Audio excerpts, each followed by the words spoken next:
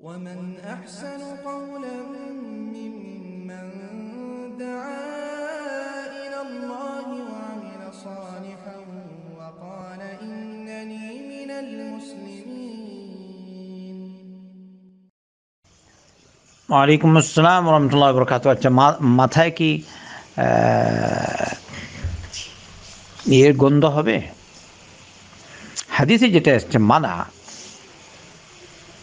আল্লাহ রসুন সাল্লাহ ইসলাম বলেছেন, মান আকালা সুমান ও বাসালান ফালিয়াতাজিলনা ও ফালা ইয়াকরাবান্না মুসাল্লানা।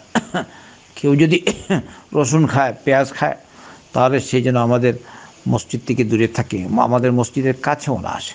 তো যেটা সরাসরি নিষেধ তাহলে মসজিদের কাছে, মসজিদে দেওয়া পেঁয়াজ ব্যবহার করে অথবা পেঁয়াজ খেয়ে, পেঁয়াজ মাথায় লাগিয়ে এইগুলো একদিক দ্বিতীয় নম্বর যদি আপনি মাথায় মানে এরকম পেঁয়াজ রাখেন, তাহলে তো ফিরিস্তা তো আছেনই আপনার সাথে।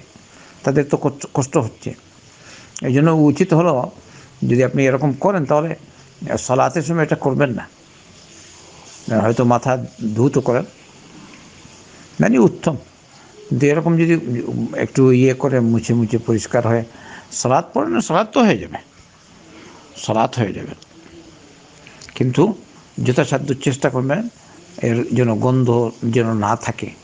কারণ ফেরেস্তাদের কষ্ট হয়। আপনি যেহেতু হাদিসে এসছে, ওই মসজিদে যাবে না ফেরেস্তাদের কষ্ট হয়। তো ফেরেস্তারা তো আপনার আপনার সাথেও তো আছে। তো এই যথাসাধ্য আমরা চেষ্টা করব। এমন কিছু দুর্গন্ধ জাতীয় কিছু যেন শরীরে না থাকে।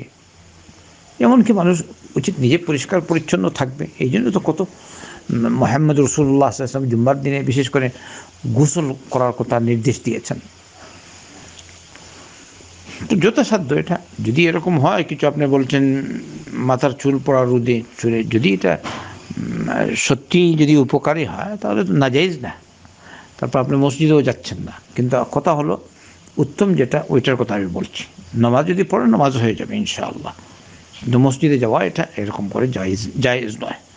والسلام عليكم ورحمة الله.